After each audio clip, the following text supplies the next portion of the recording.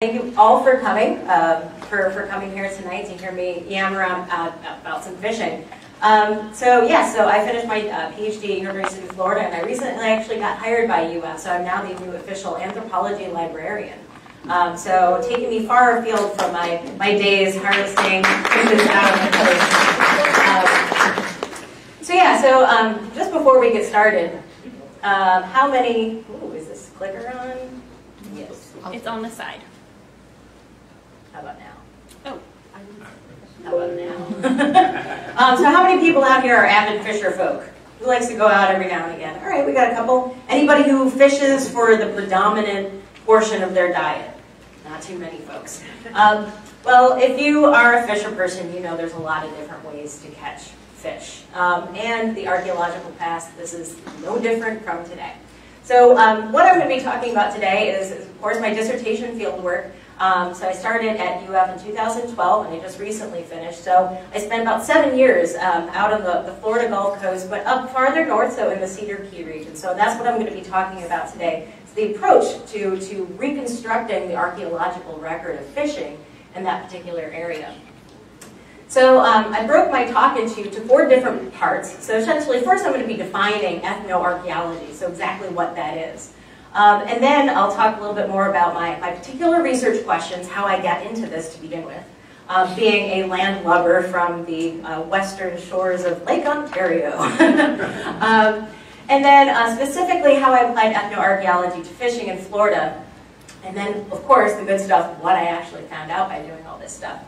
So first and foremost, ethnoarchaeology is uh, the use of ethnographic methods which we get from culture anthropology and a number of other social disciplines, to understand the interaction between people and artifacts, so people and things, right? It can also be people and animals, people in the environment. So it's a way that we study present people to understand past actions, right? Because the archaeological record, well, it's pretty silent. It's not going to actively get up and start showing us what happened to make all these cool tools and artifacts that we find.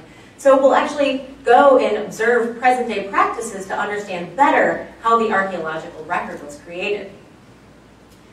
So in my approach to ethnoarchaeology, I use a tripartite scheme. So I use three different sources of ethno, um, uh, ethnohistoric, ethno, uh, ethnographic methods to, to create my approach to ethnoarchaeology on the Florida Gulf Coast. Not everybody can do this, it really depends on what sort of information that you have um, you know, uh, accessible, I guess, for your particular research.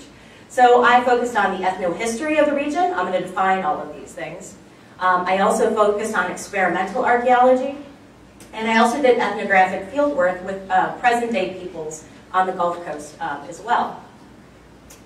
So before I get into my ethnographic field methods, I just want to set the stage, essentially, for the archaeological questions that I was asking.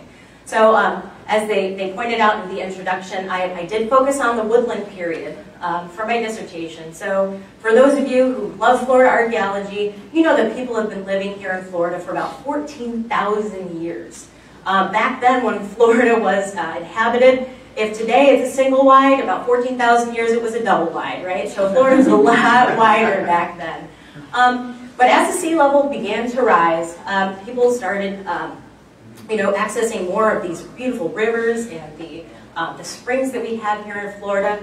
But it wasn't until about 5,000 years ago during the Archaic period um, that our shoreline in Florida actually established itself. And we see that beautiful salt marsh that's so iconic of the, of the Gulf Coast actually started to form. So uh, oysters and clams and, and all the different uh, terrestrial fauna and avian fauna that flock to these places as well, right? So these beautiful, rich environments.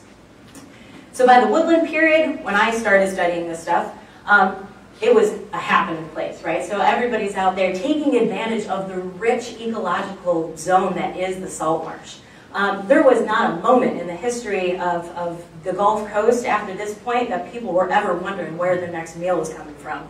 Um, anybody who's ever been on the Gulf Coast, I mean, they're between the birds, the terrestrial fauna, the fishes there, you were not going to starve. So really, this was a very thriving place, just as it is today. Um, there's sites along the Gulf Coast that were akin to New York City with the, the populations that were living um, you know, in these, these sites back in the day, um, back before European uh, colonization.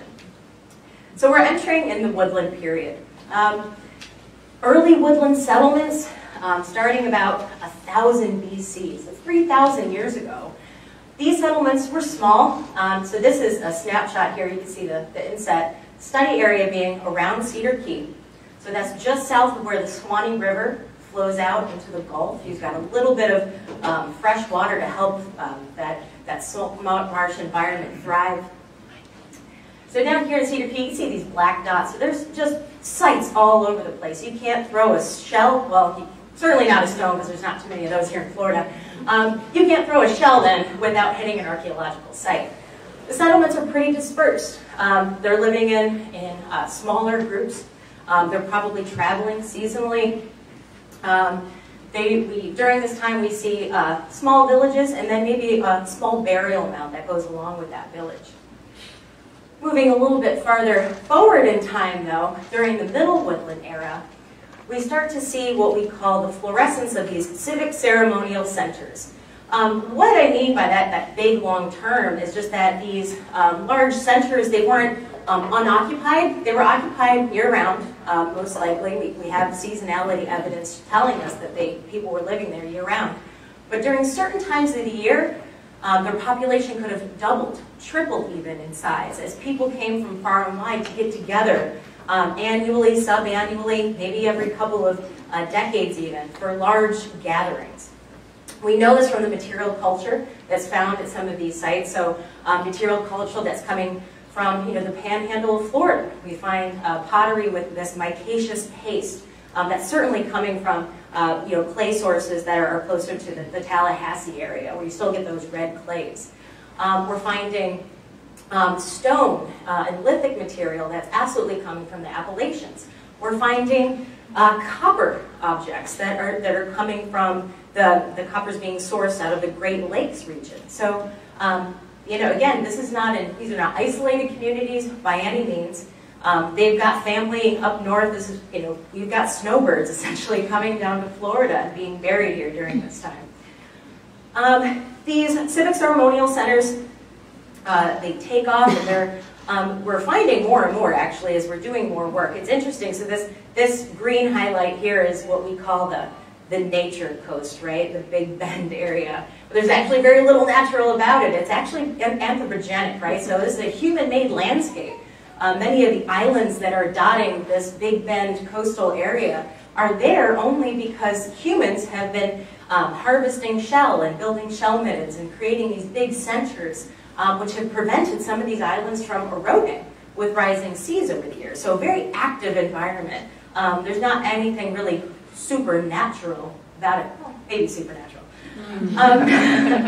Um, so we get into late woodland, and uh, this is the time where, really civic ceremonial centers start to break apart a little bit. And towards the end of this, this period, um, at around 700 AD, so still way before Europeans got here, um, the civic ceremonial centers of Florida Gulf Coast and up into the interior, so this is a phenomenon that we see up into um, South Georgia as well, um, even as um, into Tennessee and the Carolinas a little bit, uh, they start to waver. Um, their uh, communities, the, the uh, sites are being abandoned.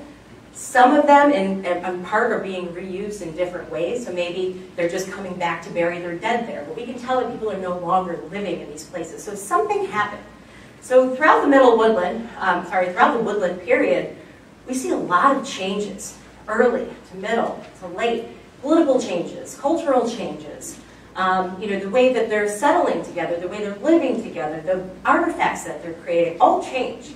However, there's been this narrative that what they're eating has always stayed the same, right? They're fisher coastal hunter-gatherers, and, and they just eat a whole bunch of fish. So what's what can we tell about that? Um, you know, it's not that hard to catch a fish, right? Well, there are a lot of different ways to catch a fish, as I found out.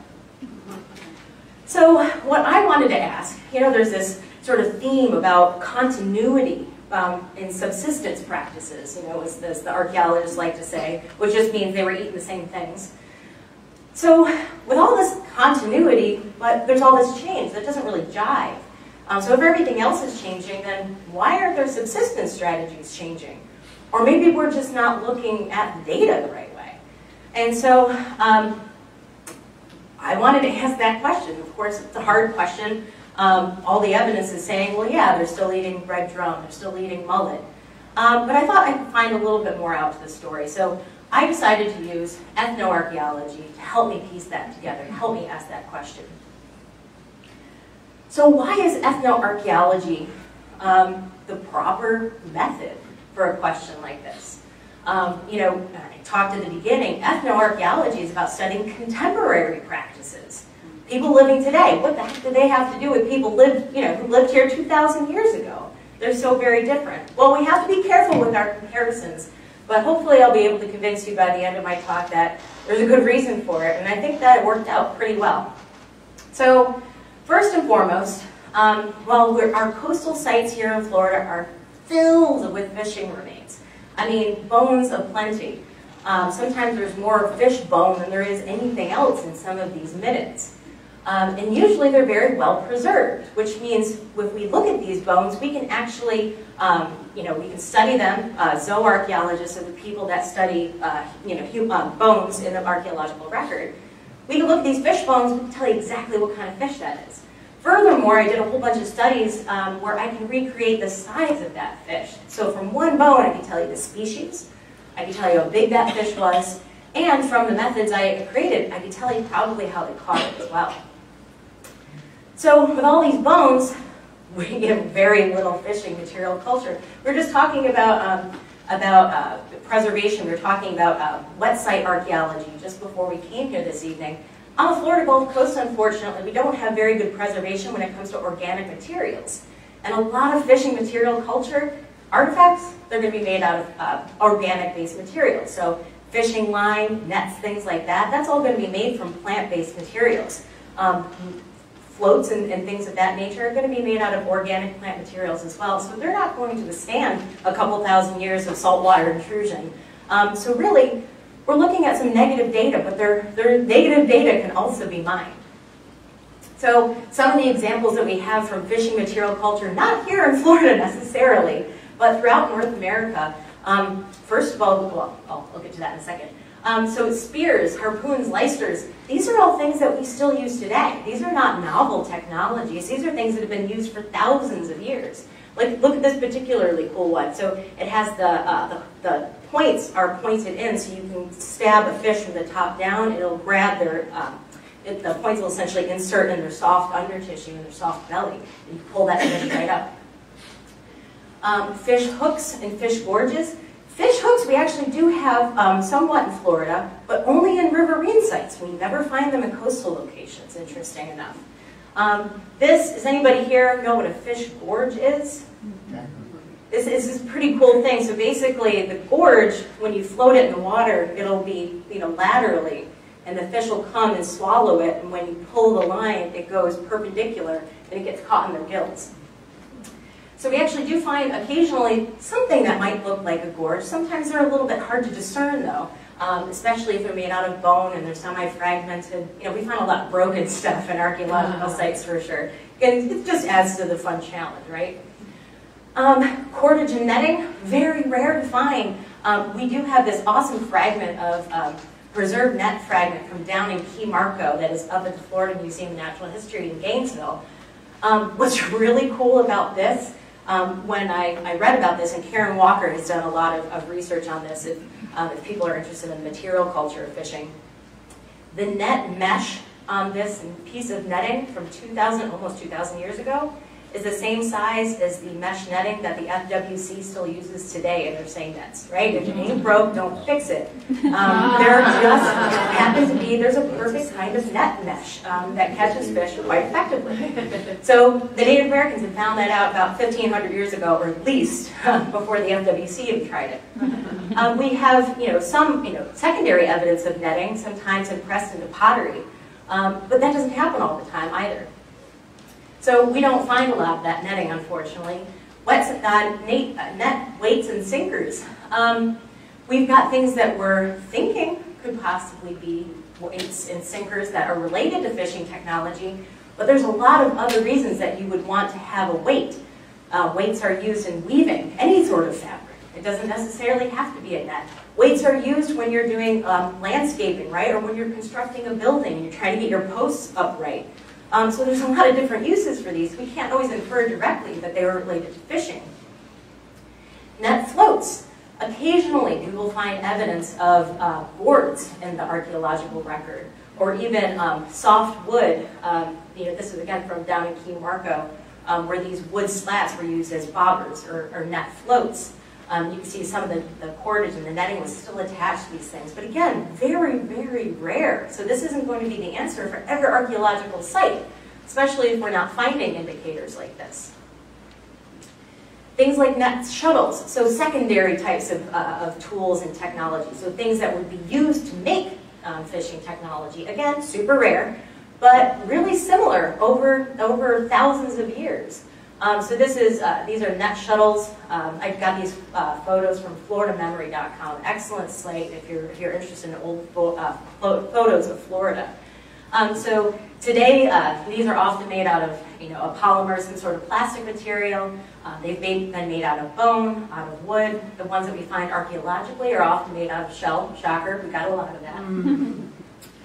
Net gauges. Um, so this is something that helps you when you're weaving a net. It helps you keep uniform sizes with the mesh, so your net will hang properly in the water.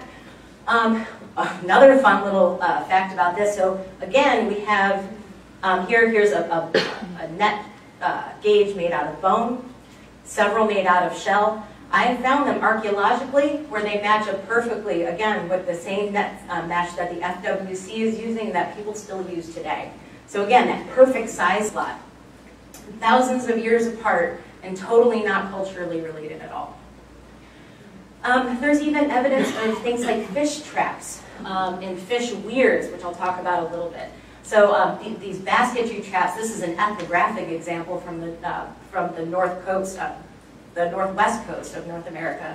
And, and so is this, uh, this fish weir here.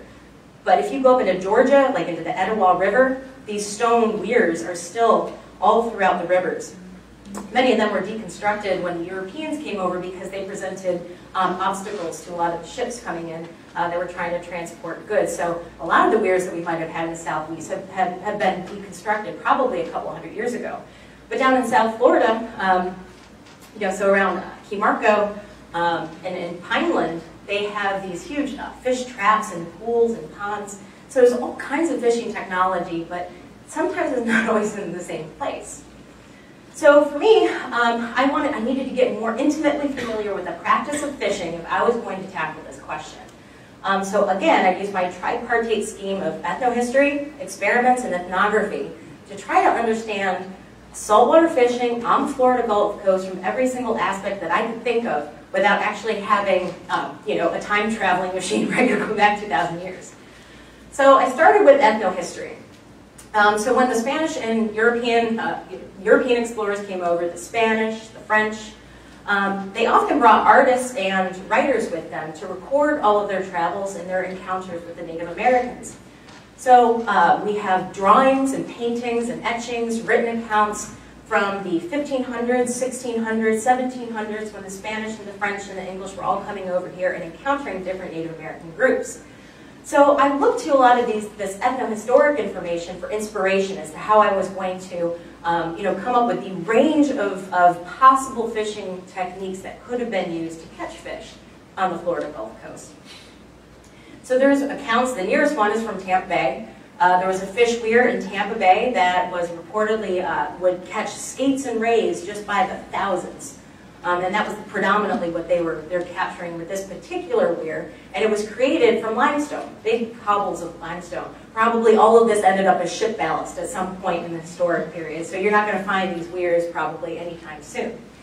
Um, we have uh, uh, accounts from, from Jacksonville, so the St. Mary's River, um, when the, the French were coming in, the uh, Huguenots essentially, and they're, recording all of their travels um, with the different groups that they're encountering um, up into the Carolinas, into Virginia.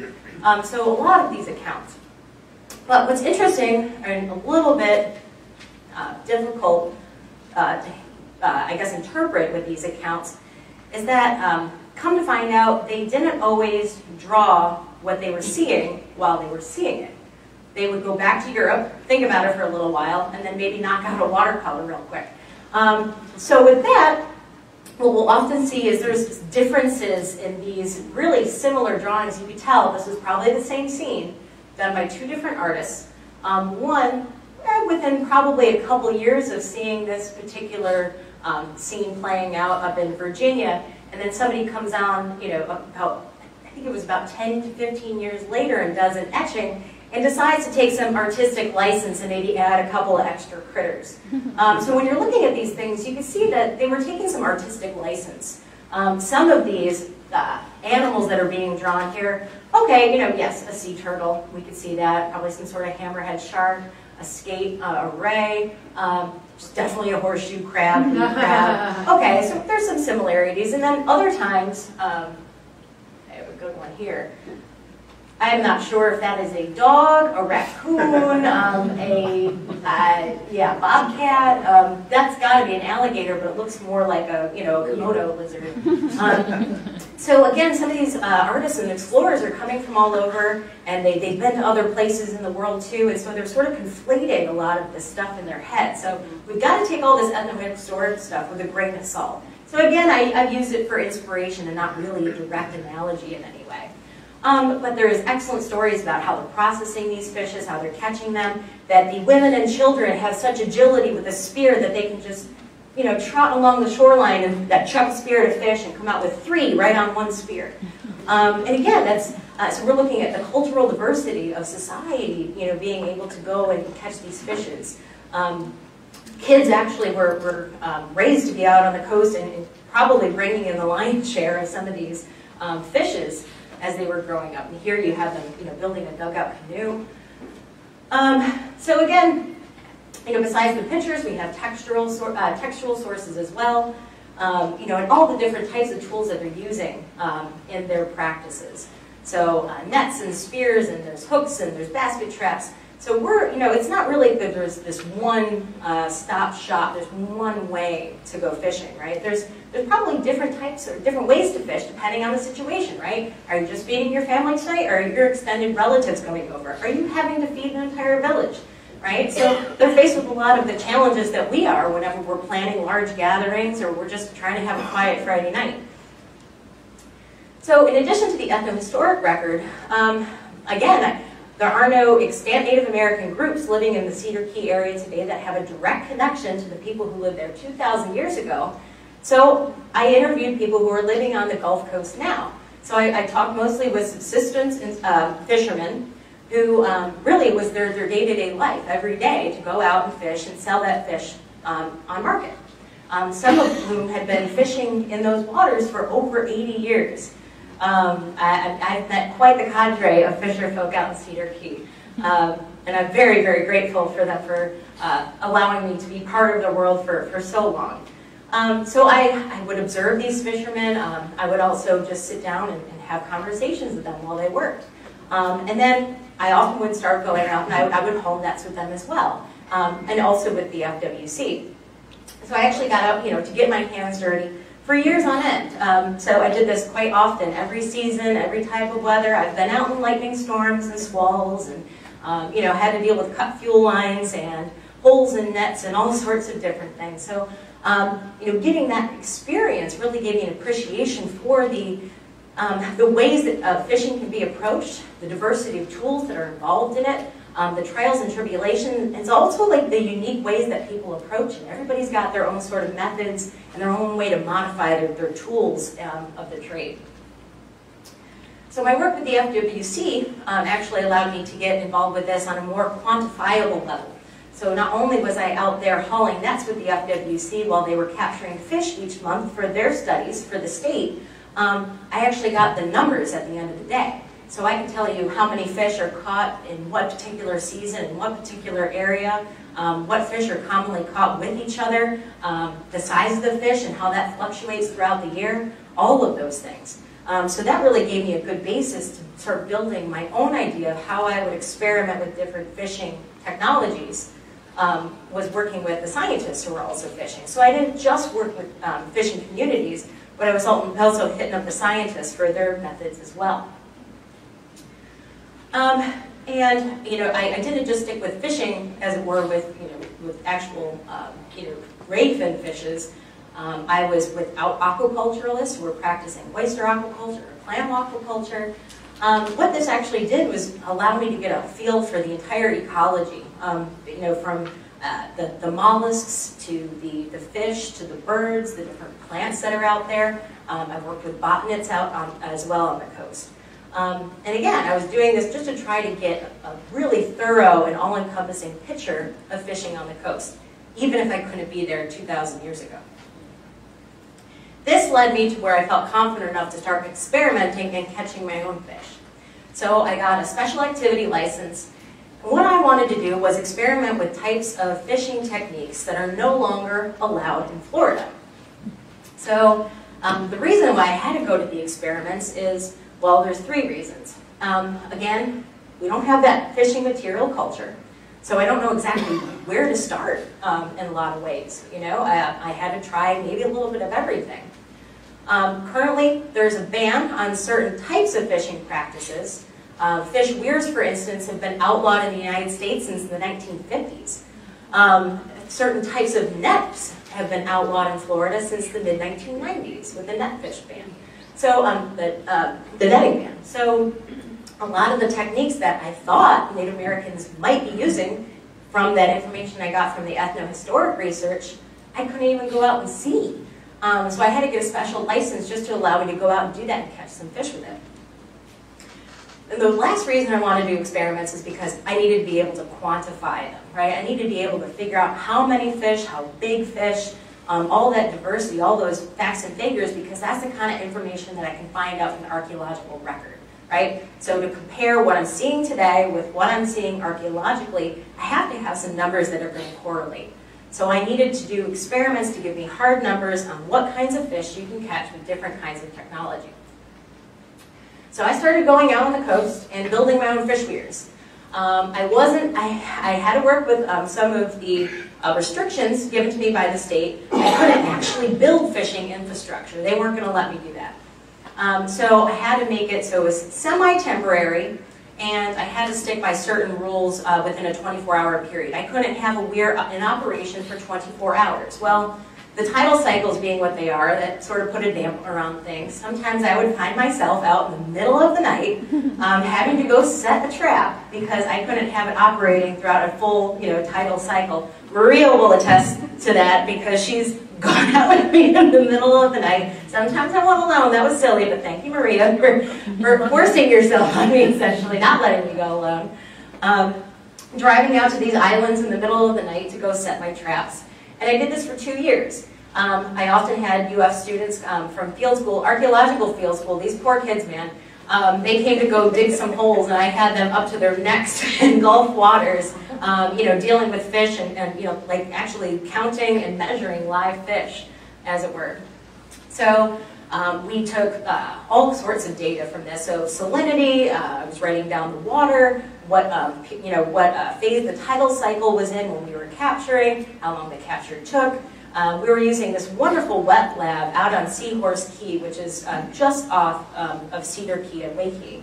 And um, this great wet lab, um, Maria was the director there at the time, and so we were trying not to kill as many fish as possible. I, I didn't want all of my fishes to die, so um, we were, you know, here's us, oh, there's Rose McCain right there.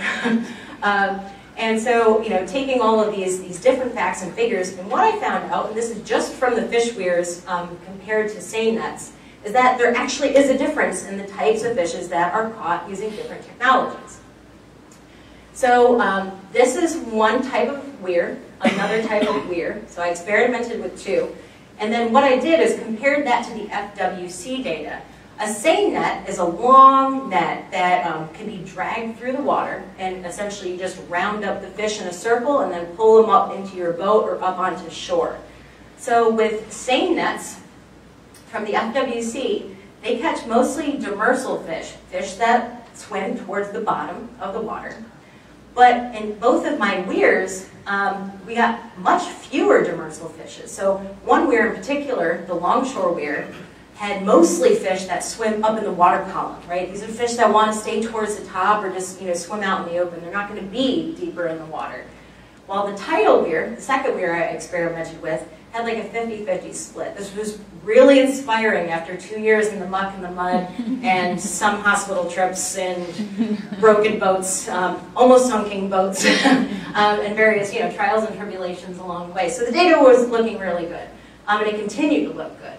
So um, the ethnographic work uh, started to give me really great insights on things that I could you know, uh, actually apply to the archaeological data. So that's when I started getting more into the archaeology.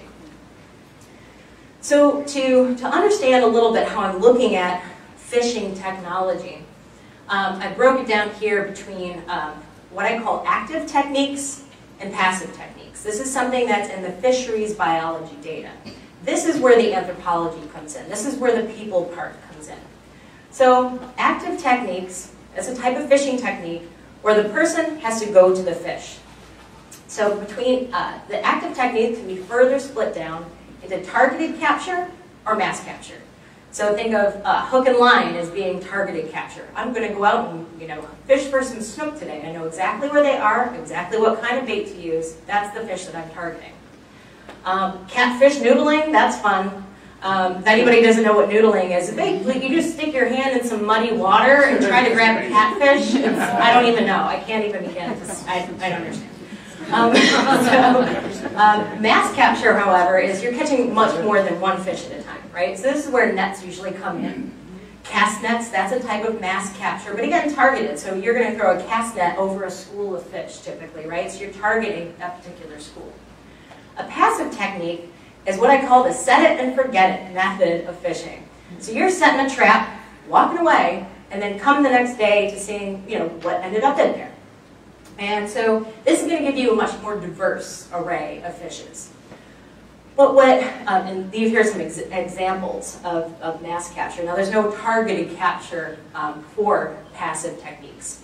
Where the anthropology comes in is, well, if you're actively fishing, right, like you've got maybe a six pack with you, you're out on the nice water, you can spend a whole Friday, maybe you're alone, just got you and your pole, you're not doing anything else that day, right? Um, you're fishing and that's it, that's what you're doing.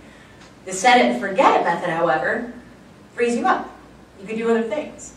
Um, so what that, my interpretation of that archaeologically for, for the purposes that I'm looking into 2,000 years ago as societies were moving from you know, being in these broken down, smaller groups and communities, um, smaller villages, probably uh, many of them you know, are, are, are kinship related, they're family units, you don't have that many mouths to feed. You can all go out and fish for a couple hours, and you'll probably have enough fish for a couple days. No big deal.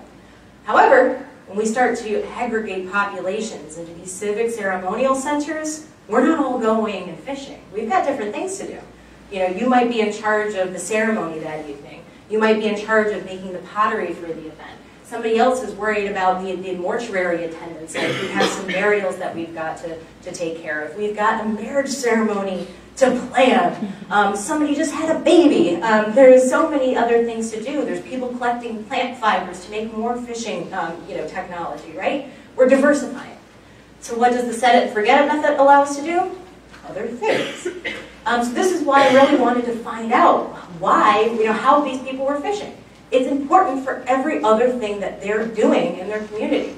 So it's that, that whole idea of, oh, well, you know, continuity and subsistence over time doesn't really jive anymore. There's no way they were doing the same thing over thousands of years if everything else changed.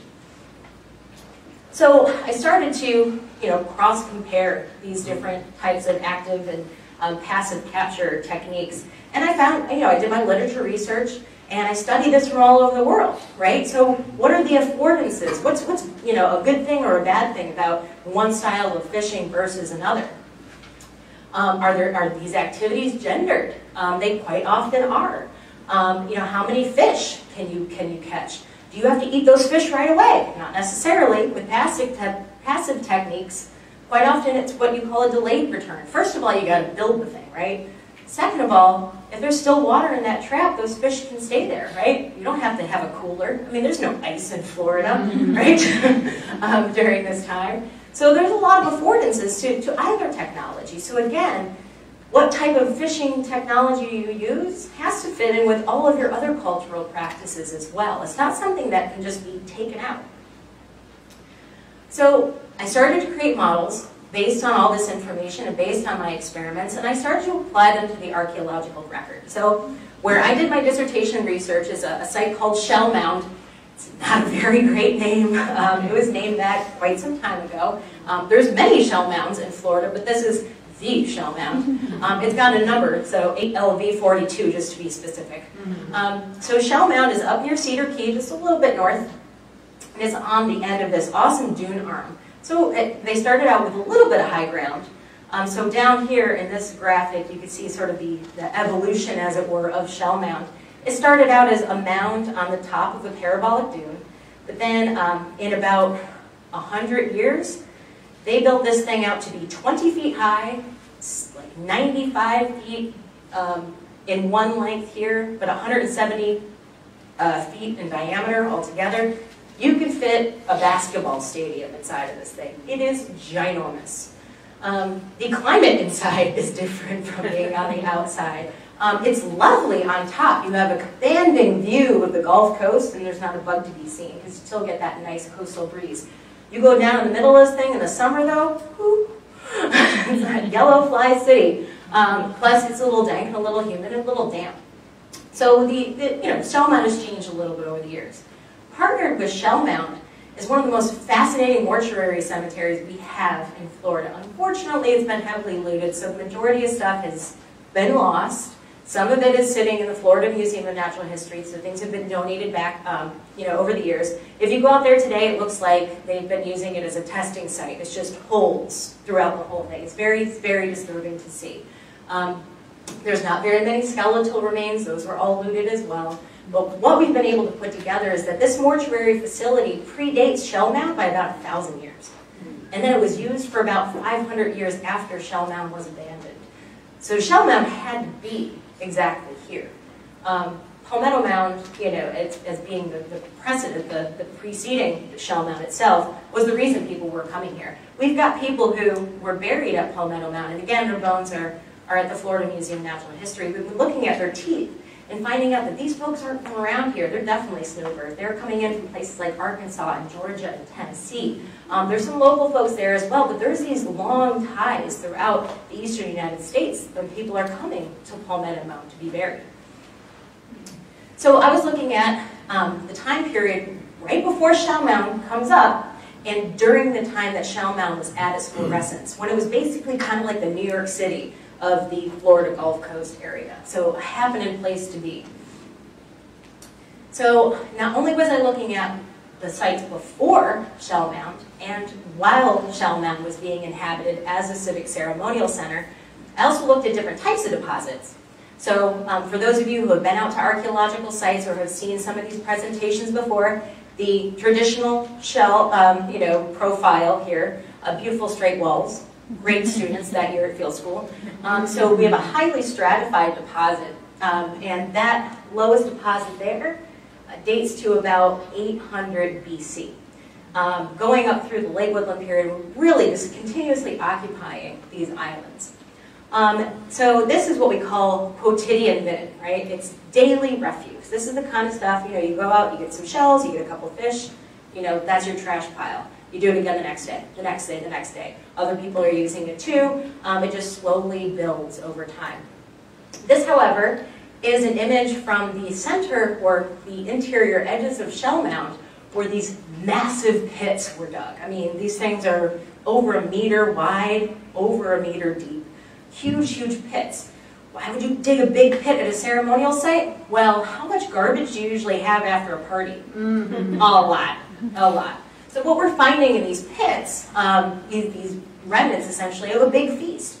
We find pottery sherds that were not beautiful pieces of pottery. This is kind of like the stuff that you would get at Target if you don't care if somebody breaks it or takes it home and you never see it again, right? so you've got a lot of mouths to feed, so you're just going to slap that stuff together real quick, feed the masses, and when you're done, you just throw it back in the pit, right? Done with um, these massive pits, I mean, throughout here we're finding all kinds of, of fish bones and animal bones. We know what they were eating, we know what they were type of material culture they were making. So I was able to compare those different kinds of archaeological deposits as well. We even have things like net gauges, again, so I know they're fishing, right? I've got a lot of evidence, but how are they doing it? So um, I went through, I got a grant, I got some help, and we started quantifying all this stuff and adding it up. So what did I find? Three different types of variety is what I'm going to show you now. So first of all, there was change over time. That's good for us archaeologists. We like to be able to see that. So first off, I just proved that whole idea about continuity. This is not the same, where they're not doing the same thing throughout those you know, 2,000 years, 3,000 years of the woodland period. So I found out that over time, fish size decreased. So in the beginning, the early, early sites before the civic ceremonial centers, they're getting really big fish. And then the civic ceremonial centers and their fish start to get a little bit smaller. Maybe they just need more fish to feed more mouths, and so they're not as picky as about you know, the size of the fishes that they're going at. We have no evidence for resource depression, meaning that there's no evidence that they're over-harvesting the fishes that they're going after, right? They're not impacting the environment negatively. They're just catching some different sized fishes. I also found that the trophic level decreased over time. Trophic level is a way of like sort of organizing animals, right? So um, the bigger fish, uh, let's just pretend this is a size thing. Uh, bigger fish will have a higher trophic level than the smaller fish. So like smaller fish, they typically eat a lot of plants, low trophic level. Big fish eat a lot of other fish, high trophic level. Um, so trophic level was decreasing over time. So they're eating more fish that eat plants um, as well. Interesting, keep that one in mind. They're also, um, is this working? Maybe. It's green, okay. So schooling species increase over time also. So instead of targeting um, fishes that maybe are swimming solo, they're, they're targeting fishes that are all swimming together. That's where I started to think, okay, this is definitely technology related. Spatial variation, um, this is a crazy looking graph, sorry about that. Um, it's real important for my dissertation though. um, so again, during the pre-civic ceremonial uh, center area is over here, and then this is during over here. You can see there's a color difference, a lot more gray on that side, a lot more orange on that side. Um, so the offshore sites that I looked at, so the sites a little bit farther away from Shell Mound, but again, are from before the time that Shell Mound was occupied, more solitary species. Um, the nearshore sites, so the ones that are closer to Shell Mound, I found more schooling species. So there's a little bit of a spatial variation too. So where you were on the landscape might also have influenced what fishes that you're going for, what types of fishing technology are you using. Furthermore, I found that uh, freshwater species were only present at Mound. There are freshwater rivers near some of these sites, like directly next to them, and they were fishing predominantly for saltwater species. So, you know, humans, we make a lot of interesting decisions about our food. Sometimes certain things are just off the table, right? Um, some things we just don't go after, we don't eat. But I found very intriguing, and that's another paper right there, as to why freshwater species are only showing up in the pits at Shell Mound. Furthermore, um, spatially, um, the top species, most frequent species were different depending on the location of the site. So the nearshore sites had a lot of mullet and a lot of jack while the offshore sites had more sheepfish and more burrfish. And then this is another crazy graph you don't have to worry too much about, except for the fact that um, the green, so the ones down here on this uh, right side of the graph, um, are prior to shell mound. Um, the purple are the, the midden components, so the daily refuse. And then the red is the ceremonial stuff. So nice grouping, so really good data results. So the features, the ceremonial signatures of this time period, the fish in them were very, very different from the, um, the places where people would just deposit daily, you know, refuse, their, their day-to-day, um, you know, uh, trash from what they're, they're eating. So um, this predominantly showed up in the species differences. So we find that mullet are the favored fish for these gatherings. Um, mullet, if anybody here has you know had mullet, you've been to um, you know anybody who smokes mullet, you're not going to smoke just one mullet, right? You're not going to see one person with some mullet. You're going can catch a lot of mullet. Why? Because they school together. They're really easy targets when they school together. Cast netting is a great way to catch mullet. Um, so mullet, mullet are still the fish of gathering in Florida. That hasn't changed, even though um, clearly our, our, demographic makeup has changed quite a lot. So that was, that was uh, the most standout feature, I think, of, of all of this. Um, again, there's a higher trophic level um, in the middens. So again, they're probably eating more carnivorous fishes, fish that eat other fishes on a daily basis. But for the, the, uh, you know, the ceremonial functions, they're going back to these mullet. Mullet don't eat other fish. They eat plant detritus. Um, they're sort of uh, what we call detrivores. They eat a lot of the broken down plant material on the bottom um, of the, of the uh, water level. So overall, there's mass differences in, the, in like how they're depositing these fishes, what fishes are being approached. What we also found out is that the ceremonial pits at Shell Mound were being deposited in the summertime. And so 2,000 years ago, how do we know what season? Um, and actually what time of, um, what particular portion of that season? We only have real, really two seasons in Florida, if you're going to be honest. Mm -hmm. um, so what time in the summer? Well, probably about June 21st, roughly. How do we know that? Um, there are bones from egrets that are juvenile birds, and they're only juveniles for a very short time. And when they're fledgling and they're about to leave the nest, it's usually about mid-June. And from those bones of those egrets, we can tell that's probably when these pits were laid down too. Now, if anybody here knows anything about mullet, when do you catch mullet?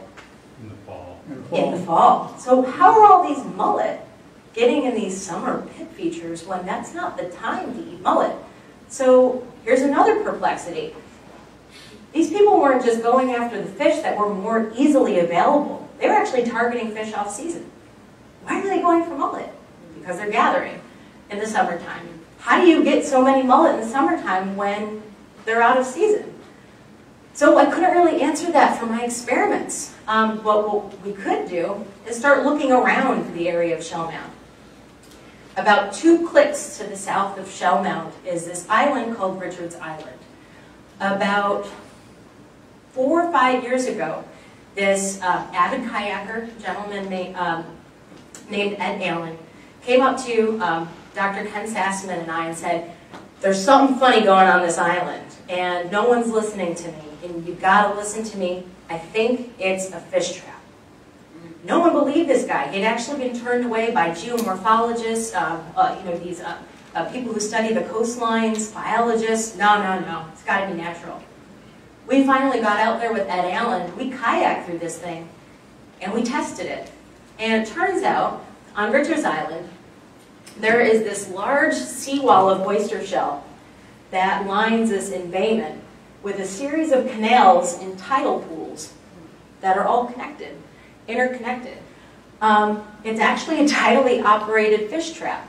When we put a core in um, to this, this uh, oyster wall of shell, we got some date backs, uh, dates back. Guess what time period it dates to? Shell Mound, right? The Civic Ceremonial Center era. This was a fish trap. I mean, if they can build something like Shell Mound, they can build a fish trap out of oyster shell, right? I mean, come on. So going through and we have a little bit more testing to do, but there's middens all around this fish feature, which I'm, I'm guessing is a fish trap at this point. I'm pretty, I'm like 90% confident. Um, where they were probably going here and targeting mullet off of season. How are they doing that and why would mullet be in there off season? Well, mullet, when the water temperatures get really warm, like in the summertime, they don't like it so hot. What they do is they'll actually bed down in these karst holes in the cool mud down deeper in the water. They're actually really good at living in low oxygen environments. Mullet don't need a lot of oxygen content to live. So they can bed down in these cool little hovels in the summertime, and you won't see them in the water, but they're there. What this trap actually does is mimic those karst holes that are so prevalent along the Gulf, Gulf Coast. The Native Americans had observed this and decided to make their own falsely corralling those mullet into maybe a false sense of security. Um, so they could corral them, cut this little gate off. I don't, so I can't really point, but you see number one at the top there, cutting that access point off before the tide turns and the fish are able to go out. I actually strung a net, so it's a technique called creek stopping. I strung a net across that entryway uh, with some undergraduate students um, over one of the summers. And within about two minutes, there were so many fish trying to get out of that trap, we had to let go. We were basically going to be pulled out into the Gulf Coast because all of these fishes, it was just like a mass exodus. So fish are still going into this trap to this day. And it was thanks to, you know, an educational kayaker. Um, he's got a, a, little interest in archaeology. He thinks it's cool. But this is, it was really, he's a naturalist who came out here and noticed this, and the scientists weren't listening to him. I hate that story, but it actually does end well. We did listen to him. Thank you, Mr. Ed Allen. Um, so what we, uh, essentially, what I found out from all my studies is, okay, I was able to rule some things out. That's a good thing in science, right? You, you can at least, you know, if you can't say exactly what was happening, you can say what wasn't happening. So I ruled out the longshore weir and the tidal weir. Those are the two types of weirs that we see most often in the ethnohistoric accounts. Now let's remember, the ethnohistoric accounts were taken about a thousand years after the time period I'm looking at, so no wonder they're fishing with different techniques. What I was able to find out through my experiments is that most likely they were, they were using seine nets, which is a type of net that's still used by the FWC today. It's legal in certain forms, still in Florida also. It's a super effective way to get a lot of fish in one foul swoop. You just need some friends to help you drag that thing in. I also um, validated individual capture, so even though I'm not finding things like harpoons and leisters and spears, um, maybe I'm finding bits and pieces of them, but because they're broken up, I'm not able to say for sure. Um, but through my comparative studies, they're likely using individual capture. So again, from you know, nice images here, so probably ruled out the types of traps that the Europeans were seeing later on. Um, again, thousands of years after, a thousand years after um, the time period I'm looking at. Um, but I could definitely see the other uh, methods. So uh, that image in the middle there is that um, uh, it's a, a, drawing or a painting that was done uh, by a person who was working with the archaeologists who work in South Florida Pineland. Um, so that's a seine net, so that large staff uh, connecting uh, a net um, that's drawn across a, a little embayment there. And I think most likely they were using things like big traps too about 2,000 years ago. So I was able to show through using ethnohistoric, um, ethnographic uh, methods and ethnohistoric research um, and experiments I was able to show there is really distinct changes over time with the way that people were capturing fish on the Gulf Coast, particularly in the Cedar Key area. Um, I can't say that about all of Florida. I'd have to go to all of the sites and check them all out. Um, but certainly that's coming. I would like to definitely take this approach and, try it in other places. So maybe trying it here in the Tampa Bay region, trying it down um, in Pineland in South Florida, in uh, the Charlotte Harbor area. So what I was able to discern is that there actually was a big correlation with changes in fishing technology and changes in religion, changes in culture, change, uh, large changes in technology, changes in settlement type. So just because the same species of fish are being caught doesn't mean they're fishing in the same ways. Heck, we still eat mullet today, but it doesn't mean that we're doing it the same, we're not catching them in the same way that people were catching them thousands of years ago.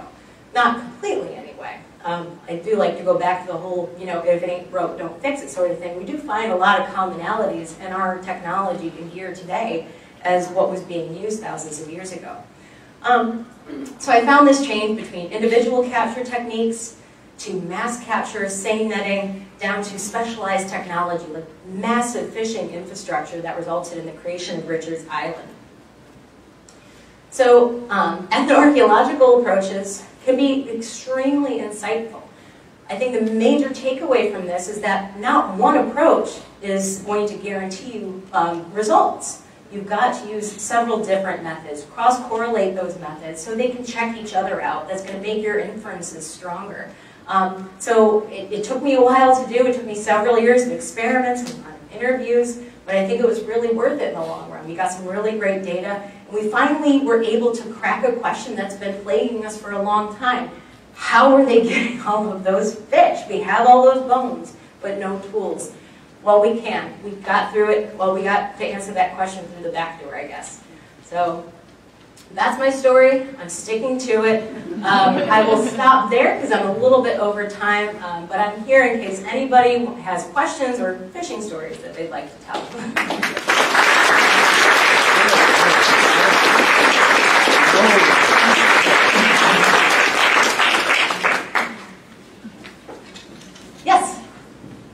did um, we did bow fishing stuff. We were bow Well, um, so technologically speaking, in the eastern United States, uh, so the bow and arrow, as we know it today, came in really late. Um, so not until about 1200 AD. Um, so um, when we talk about, you know, people say, oh, I found an arrowhead. Arrowheads actually don't show up in eastern North America until very late. Arrowheads are really tiny. Um, around, uh, around this area, people will often call them bird points. So have you ever heard somebody call a bird point? An arrowhead is about that small. Um, so the larger, you know, um, our, our spearheads, projectile points, those big things, those, those are spears, and so, or knives. Um, so we see those quite um, much more often. However, you don't necessarily have to have a lithic point to have a spear. So a lot of the, um, so in the, the ethnohistoric accounts, when they're talking about um, like sort of bow fishing or spear fishing, they're talking about taking a reed and fire hardening the tip um, and, and shooting that. That's not, that hasn't, we don't have any evidence of that from the archaeological record, because again, it's an organic material, it's not showing up in the majority of sites. So a little bit difficult for us to say when fishing like that might have come online, but all I do know is to say that the, the bow and arrow, how we know it with the lithic point, didn't uh, show up, it didn't actually, it wasn't invented here until pretty late in the scheme of things. Mm -hmm. So what kind of fish were those that you caught at Richard Island with your students in the creek walking? Were they mullet? Oh yeah, yeah. So my first experiment was to just go in there with a cast net, and so I was just going out and I was uh, casting into these these different uh, pools, and it was it was a springtime, so I was getting the young of the year mullet, so this little finger mullet. Um, and so I got a lot of those. I got a lot of um, things like silver sides and mojarras, so those tiny little silvery fishes that we often use as bait or are just there for, you know, other larger fish to eat, really, because we don't uh, capture a lot of those. Um, there were things like uh, leather jackets. There were um, there were pinfish, pigfish. Um, trying to remember the exact numbers of things. And then there were um, there were young uh, sea trout, which is actually a drum. Um, so a lot of you know just common common things that we see today. But there were more mullet there than than other species that I had seen.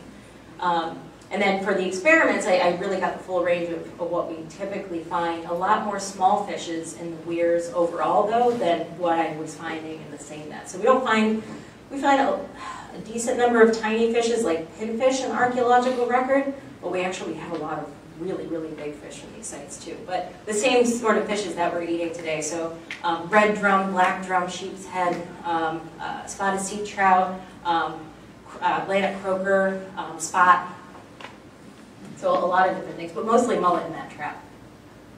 Yes? You kind of mentioned it indirectly, but when you're talking about the size of these shell mounds, with them being gigantic, what ratio would you say, how much shellfish were they eating in comparison to fish? That's a good question. We have to quantify that. So um, in so we've estimated that there's about 1.2 billion oysters that comprise shell mound roughly. um,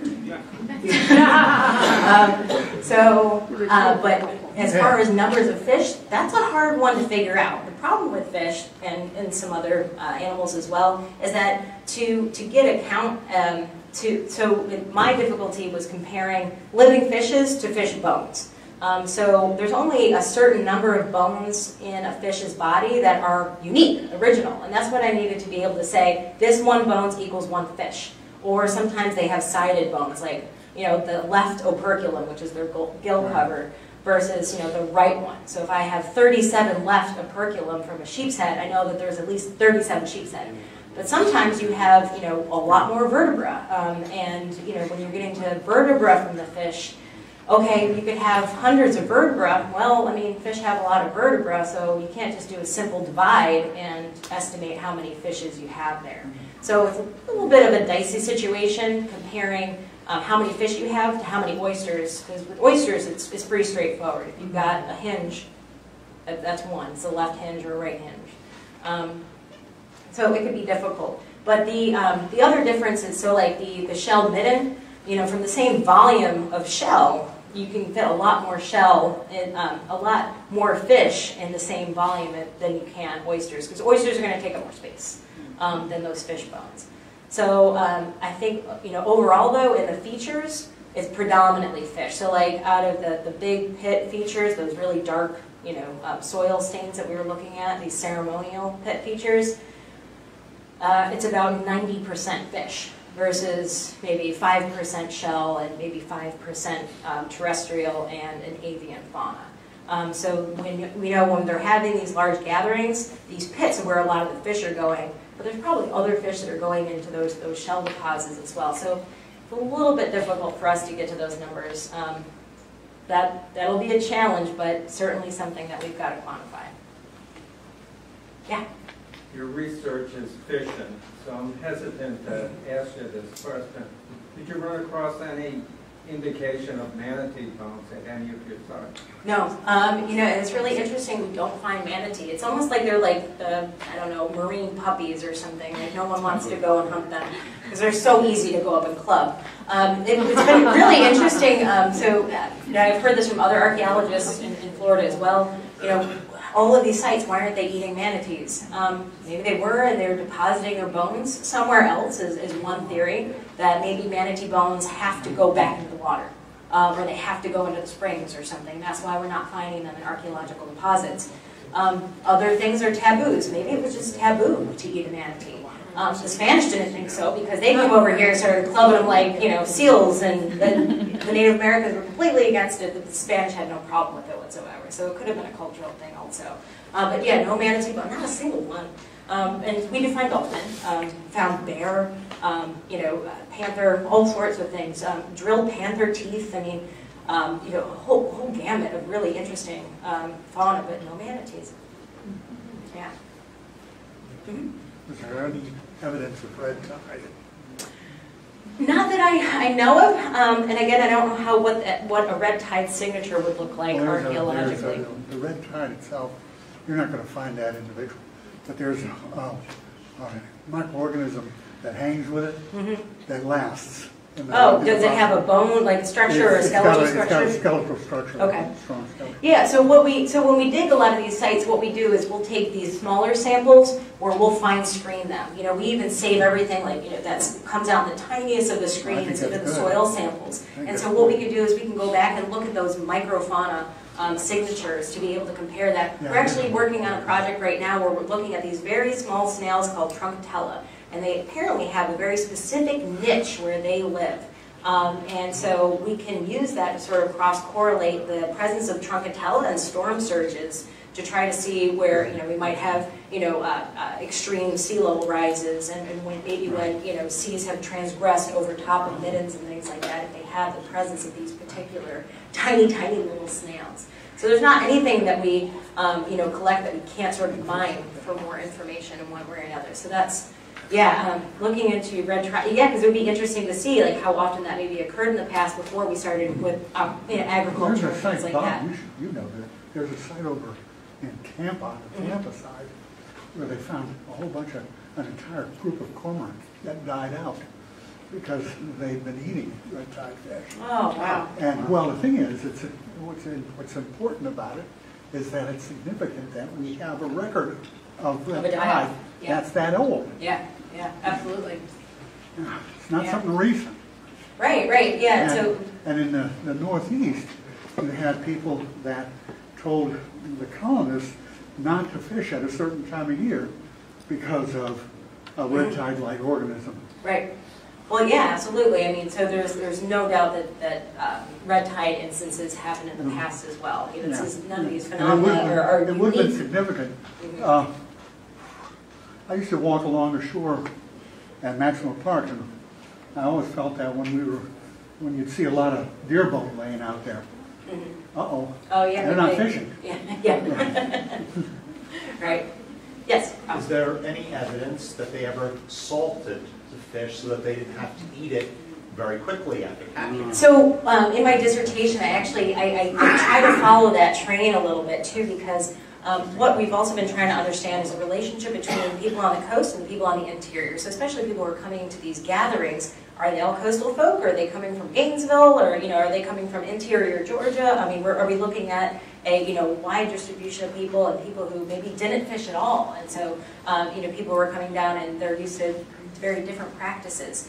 So why mullet exactly? Well, it's off season first of all, so it must have meant something else besides just the, the you know, being the most abundant fish, because they weren't the most abundant fish at that time of year.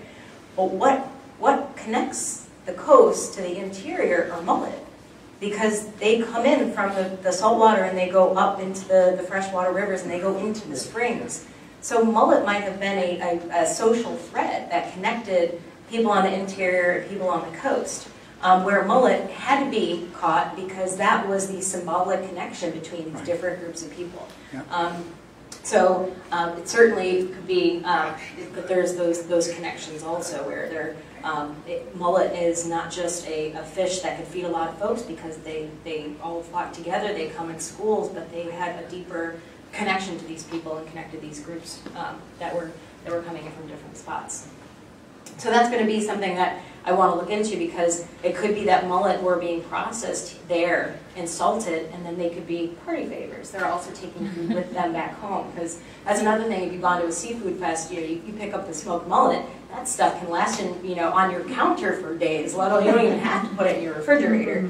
Um, you know, and it can be turned into so many other things. So um, there are, um, there have been awesome studies done, which I'm sure you know about um, salt in um, in pottery sherds, right? So we can see if they're processing salt. There are these ma massive salt kettles um, that are left over in Cedar Key from the historic era. So um, we know that they're processing, um, you know, seawater for sea salt. Um, in the historic era as well, because they were salting fish here in, you know, on the Florida Gulf Coast and shipping that stuff all the way up to New York in the 1800s. Um, you know, salt's a pretty basic technology. So I want to be able to look into more studies to see if I can find evidence of salting. Um, you know, if we can't differentiate between things like smoking and cooking, maybe we can see other preservation techniques um, for, for sure. Because mullet are excellent for preser preserving. I mean, more more so than any other fish because we have such an oily flesh. Yeah. Mhm. Um, Your choice to go to Cedar Key, was it because it was more accessible um, versus, say, for example, we have um, the hospital Bayfront, where it used to be called Mound Park because of the mounds of shells. Is that any kind of relationship to what you found in Cedar Key? Um, yeah, so so I, I'm not I'm not too familiar on the local archaeology here. The the reason I actually ended up in Cedar Key, um, so I when I was looking for graduate schools to come, so I, I, I came here from New York and I had been working on the Georgia coast for years before I started uh, working in Florida as an archaeologist. Um, I was shopping around for, for PhD programs, and Irv Quitmyer from the Florida Museum of Natural History, which I've known for years from working with him on the Georgia coast, um, took me out to Cedar Key for lunch. and then when I ended up coming to the University of Florida, my very first semester, I took a class in ethnoarchaeology. And so I needed a project, and this is how my dissertation project was born. I actually came to UF to study something very different. I was going to be studying um, what we call the missing millennium. There's actually like a time period in the archaeological past in the southeast where we find that we have very few radiocarbon dates, and we sort of correlate radiocarbon dates to the presence of people. So if we don't have, if we're lacking radiocarbon dates from a certain time period, where do the people go? Because we need fire to live, right? So, um, so I was going to work on the missing millennium. But then I took this awesome class on ethnoarchaeology, and I was like, well, you know, we've always been struggling with this problem of where's the fishing gear? And so maybe I'll learn more about fishing gear, and I'll go out to that sweet town that Irv showed me. and boom, all of a sudden, next thing you know, uh, seven years later, I'm still out there. Yeah. Did you find any? Yeah, so no, we, we don't find, actually, I found a lot of lures while I was processing fish. So I actually had to sacrifice uh, 352 fishes in my study because I had to macerate a lot of fish to get to the fish bones after I measured them to come up with these equations so I can infer fish size. So I found a lot of lures and fishes that I was processing. Um, you know, like I would get the nice hook and little red feathers and everything. Um, but no. So um, again, I found little to no evidence in our archaeological excavations, not just the ones that I worked on for my dissertation, but the other sites that I used for my dissertation that I wasn't physically there to, to excavate, found nothing that looked like a lure. Found nothing that looked like a hook. So no evidence of that targeted fishing technique, except for the type of fish that were being caught. Um, we do, however, find um, so gastropods, marine um, gastropods, so crown conchs, lightning whelks, things like that. That interior spiral uh, called the columella quite often we find those have been worked down. So like the, the both ends will be sharpened, and that's probably a, a tool of some sort, whether they're using it as one of those uh, fish gauges. So uh, those things that I, I talked about early on, um, you know, that's an individual technology. So these guys right here. So we find a lot of columella that have, you know, perforation, uh, that have points on either side, and then it's not really clear whether something was tied in the middle. So no smoking gun, you know, as it were. Uh, nothing that really screams hook and line, especially not on the coast. What we find from riverine sites are um, a lot of these, like uh, what we call composite fish hooks.